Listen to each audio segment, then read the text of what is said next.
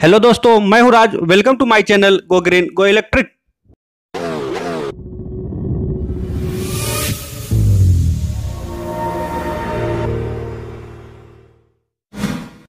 आज हम बात करेंगे BMW BMW CE 04 electric scooter के बारे में। BMW की कारों के बारे में सुना होगा, लेकिन BMW अब इलेक्ट्रिक स्कूटर के सेगमेंट में दस्तक देने के लिए तैयार है।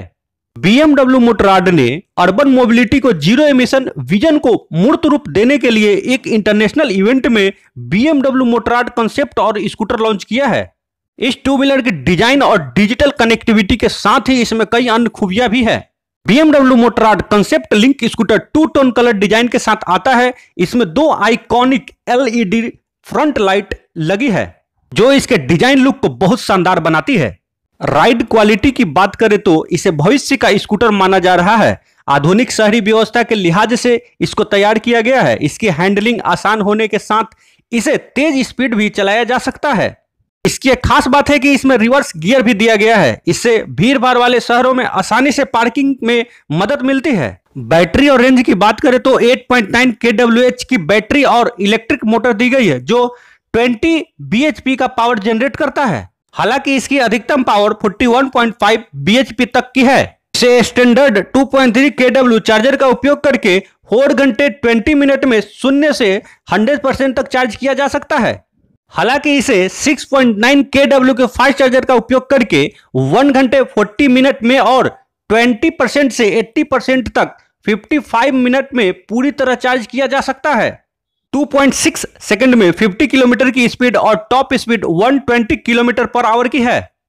एक बार फुल चार्ज होने पर यह स्कूटर 120 किलोमीटर से 130 किलोमीटर तक का रेंज देता है। इसे 217 में कॉन्सेप्ट मॉडल के तौर पर पेश किया गया था। फीचर्स की बात करें तो 10.25 का TFT touch screen instrument cluster जिसमें मैप नेविगेशन के साथ कनेक्टिविटी फीचर्स भी दिए गए हैं।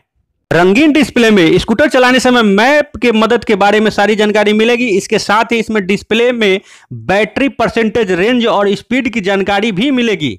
एलईडी हेडलाइट, टेल लाइट और इंडिकेटर है। स्कूटर को स्केटबोर्ड के जैसा डिज़ाइन दिया गया है। स्कूटर को सीट हाइट कम है और हैंडल बार ऊँचा है। इससे चालक का शरीर सीधा रहता है और ड्राइवरिंग का आनंद ले पाते हैं। स्कूटर में प्लेन और लंबी सीट है, जिसके नीचे बैटरी और मोटर कंपार्टमेंट है। बेल्ट, ड्राइव सिस्टम, मोटर और पावर को पिछले पहिए तक पहुंचाता है। वाइड फ्रंट और रियर टायर के साथ डुअल डिस्क ब्रेक दिया गया है। स्कूटर में फ्यूल टैंक न होने की वजह से सीट स्टोरेज स्पेस अधिक है।